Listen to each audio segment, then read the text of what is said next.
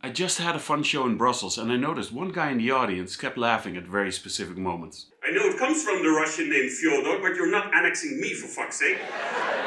It's Fedor, F-E-D-O-R. Like 20 years ago, I used to date a Russian girl, Svetlana. By then, we still had hope for them. Maybe McDonald's. The Russians cannot have McDonald's. Let's have McDonald's and wave the Happy Meal box at them.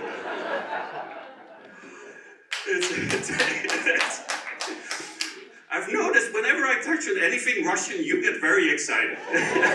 May I ask where you're from? Ukraine. Yes, that's. that explains. Whenever in Russian comment, you're like, ah!